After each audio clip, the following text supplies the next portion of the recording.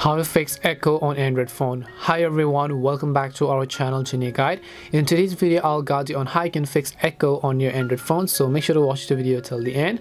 Now maybe you're actually talking to someone on a phone call. They have their earphones plugged in and you're hearing your echo of your own voice. And the other person is also hearing the echo of their own voice. So why does this happen?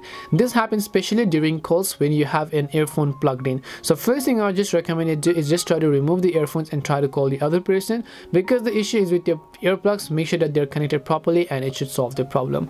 Other than that if you've customized and tweaked a few of the volume settings you could also be having that kind of echo issues. To fix this the very first thing we're going to do is just open up settings.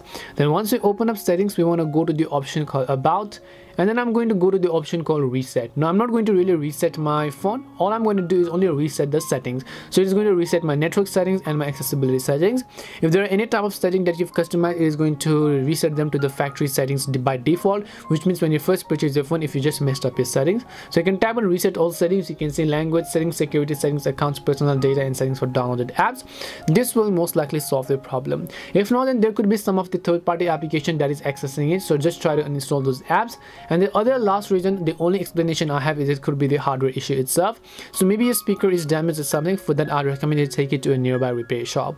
Hope this video helped you. If it did help you then make sure to leave a like and subscribe to the channel. If you have got any questions feel free to leave them down. Thank you very much for watching and see you in the next video